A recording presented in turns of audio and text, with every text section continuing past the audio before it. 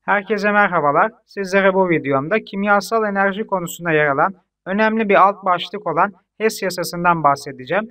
Hem AYT hem de 11. sınıf kimyaya yönelik HES yasasını anlatacağım örneklerle birlikte bu videomda. Şimdi soruları geçmeden önce birkaç kural var HES yasasına ait onlara bir bakalım. Eğer tepkime bir kimyasal tepkime ters çevrilirse entalpinin dikkat edin sadece işareti değişecek. Yani bize endotermik veya egzotermik bir tepkime verebilir. Entalpi artı olursa endotermik oluyordu, eksi olursa biliyorsunuz ki egzotermik oluyordu. Tepkimeyi ters çevirdiğimde yani ürünlerde yer alan maddeler girenlerde yer alırsa veya girenlerdekiler ürünlerde yer alırsa ne olacak? Entalpinin işareti ama sadece işareti değişecek.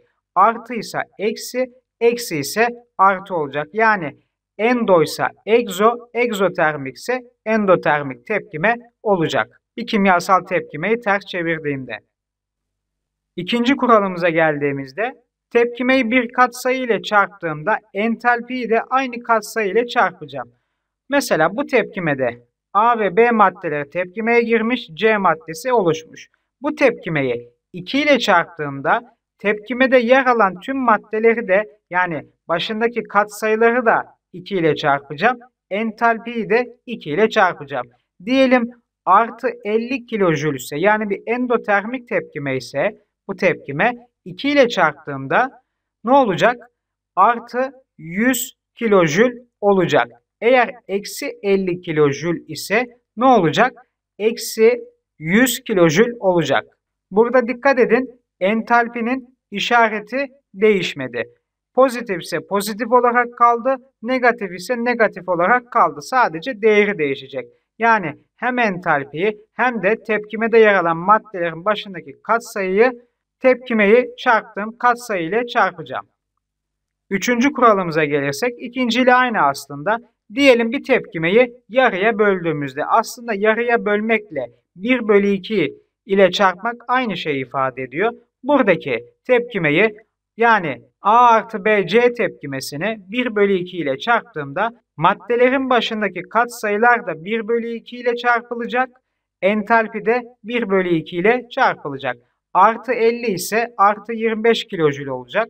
Eksi 50 ise eksi 50 bölü 2'den eksi 25 kilojül olacak. Dikkat edin yine işareti değişmeyecek.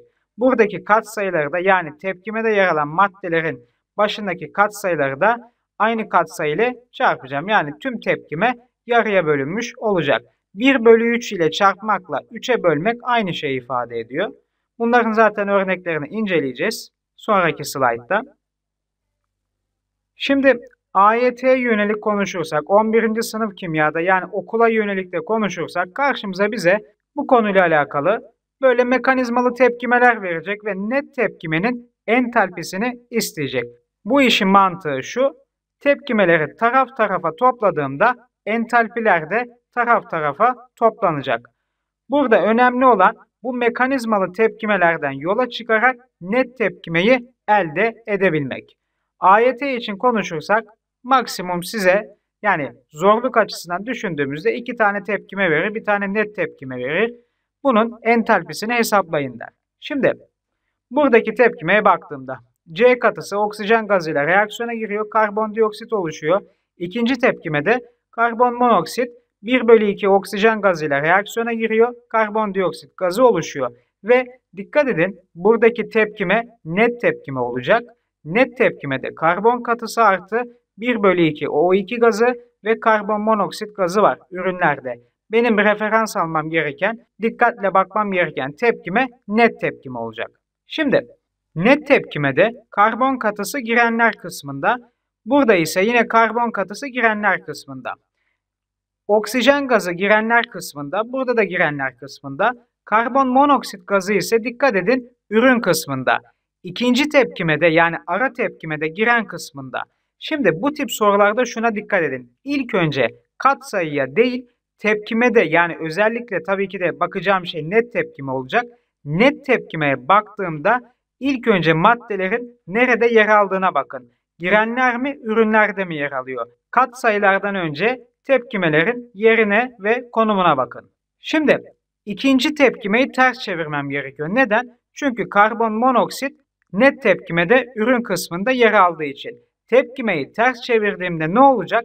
Eksi 283 kilojül bölü mol ne olacak? Artı 283 olacak. Az önce öğrendik. Tepkimeyi ters çeviriyorsam entalpinin işareti değişecek. Peki tepkimeyi ters çevirdiğimde yani ikinci tepkimeyi ters çevirdiğimde dikkat edin Sağda da karbondioksit var. Yani ilk tepkimede ürünlerde ikinci tepkimede girenlerde olduğu için ne olacak? Karbondioksitler birbirini götürecek. Yani zaten net tepkimede karbondioksit gazı yer almıyordu. Ne olacak? Karbon katısı artı. Bakınız solda 1 mol. Sağda da 0.5 mol oksijen gazı olduğu için solda 0.5 mol yani 1 bölü 2 oksijen gazı kalacak ve ürün kısmında da karbon monoksit olacak. Yani ben net tepkimeye ulaşmış olacağım. Burada tek yaptığım işlem yani net tepkimeyi elde etmek için sadece ikinci tepkimeyi ters çevirdim. Ne olacak? Az önce de öğrendik. Eğer mekanizmalı tepkimelerde entalpi net tepkimenin entalpisini hesaplamak istiyorsam ara tepkimelerin entalpi değerlerini taraf tarafa toplayacağım. İlk tepkimede herhangi bir değişiklik yapmadığım için eksi 393 kilojül oldu. İkinci tepkimeyi ters çevirdiğim için işareti değişti. Ne olacak? Eksi 393 artı 283'ten net tepkimenin entalpisini eksi 110 kilojül bölü mol bulacağım arkadaşlar. Tamam. Dediğim gibi ilk önce net tepkimede yer alan maddelerin konumuna bakın. Daha sonra katsayılara geçiş yapın. Bu tip soruları çözerken.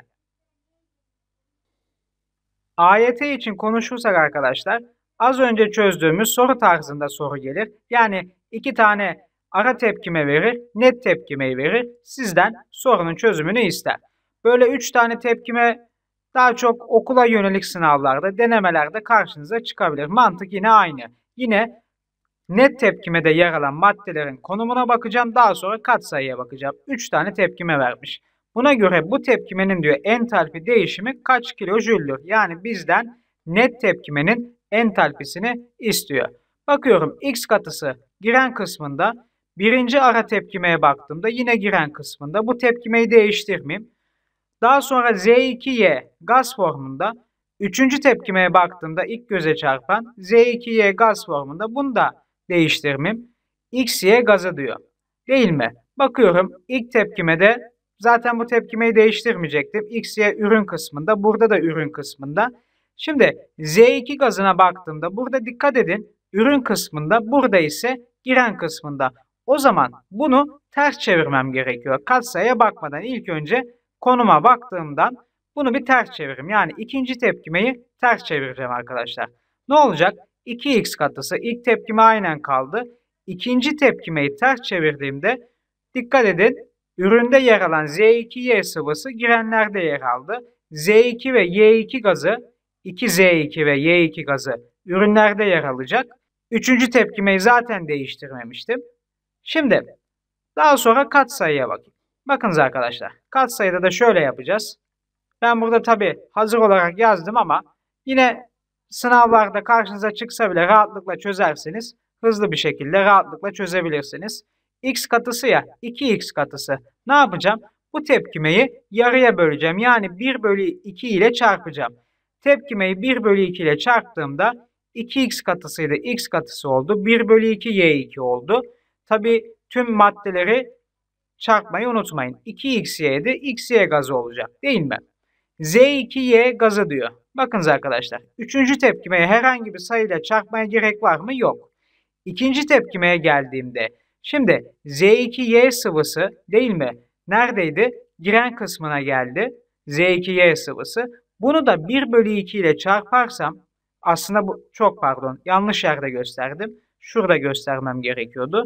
1 bölü 2 ile çarptığımda 2Z2Y ne olacak? Z2Y sıvısı Z2 gazı olacak. 2 e, çok pardon 2Z2 gazıydı bu. 2Z2 gazı 1 bölü 2 ile çarptığında Z, Z2 gazı olacak ve 1 bölü 2 Y2 gazı olacak.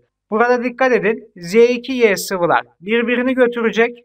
1 bölü 2 Y2'ler de birbirini götürecek. Çünkü net tepkimede Y2 ve Z2Y sıvısı değil mi yer almıyor. X katısı artı Z2Y gazı, XY gazı artı Z2 gazı olacak. Tamam yani net tepkimeyi elde etmiş oluyorum. Tamam. Daha sonra entalpi hesaplayacağım. Şimdi şöyle toparlamakta fayda var. Delta H eşittir. İlk tepkimeyi ne yaptım arkadaşlar? 1 bölü 2 ile çarptım değil mi? Reaksiyonu ters çevirdim mi? Hayır. O zaman işareti değişmeyecek. Eksi 220 bölü 2 değil mi? 1 bölü 2 ile çarptığım için işaret aynı kaldı. Artı ikinci tepkimeyi ne yaptım? Ters çevirdim. Hem ters çevirdim ilk olarak hem de 1 bölü 2 ile çarptım. Yani eksi 570'ti artı 570 oldu ve 1 bölü 2 ile çarptığım için 2'ye böldüm. Artı 3. tepkimeye geldiğimizde herhangi bir değişiklik yaptım mı? Yapmadım. Ters de çevirmedim. Yani işareti de değişmedi. Katsayı ile çarpmadım. Entalpi aynı kaldı. Ne olacak? Eksi 110 artı 285 eksi 45'ten eksi 155 artı 285'ten buradan dikkat edin net tepkimenin entalpi değerini artı 130 kilojül bölü mol bulmuş oluyorum arkadaşlar. Tamam yine aynı mantık. İlk önce net tepkimede yer alan maddelerin konumuna baktım. Daha sonra ara tepkimelere baktım. Kat sayılara daha sonra geçiş yaptım. Bunun çözümü biraz uzun olmuş olabilir ama hani işin mantığını anlamanız açısından önemli. Özellikle bu tip sorular okuldaki sınavlarınızda veya denemelerde karşınıza çıkabilir. Yine aynı mantıkla soruları rahatlıkla çözebilirsiniz. Bu tip soruları. Evet, bu videoda anlatacaklarım bu kadardı. Bir sorunuz olursa lütfen yorum kısmına belirtin. Enerji konusuna ait önceki videolarıma karşınıza çıkacak olan bağlantılardan veya videonun açıklama kısmındaki bağlantılardan ulaşabilirsiniz. 11. sınıf kimya adlı oynatma listemde mevcuttur. Hem AYT'ye yönelik hem de okula yönelik videolarıma bu oynatma listelerinden ulaşabilirsiniz. Dinlediğiniz için teşekkür ediyorum. Sınavlarınızda başarılar dilerim. İyi çalışmalar, sağlıcakla kalınız.